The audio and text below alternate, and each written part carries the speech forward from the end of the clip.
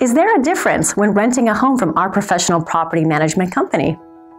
We're confident there is, and our tenants agree. They love our online conveniences and responsive customer service. Our tenant friendly website allows you to schedule a property showing, apply to rent, pay your rent, and even submit maintenance requests, all online. Check out this available property.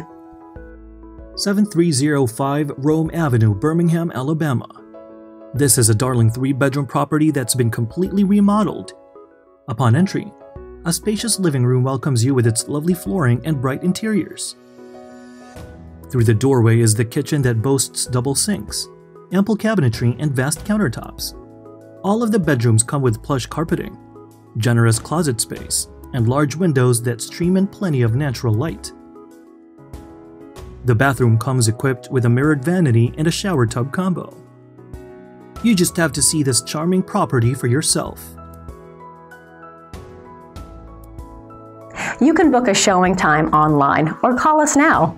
We answer calls days, evenings, and weekends. Rent a home from us and discover the difference today.